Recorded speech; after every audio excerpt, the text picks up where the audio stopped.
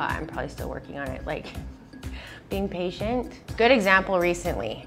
The whole plastic thing, right? I kept going to all these restaurants and everyone in Hong Kong was changing it and we hadn't. And I just was like, there's no more plastic straws today.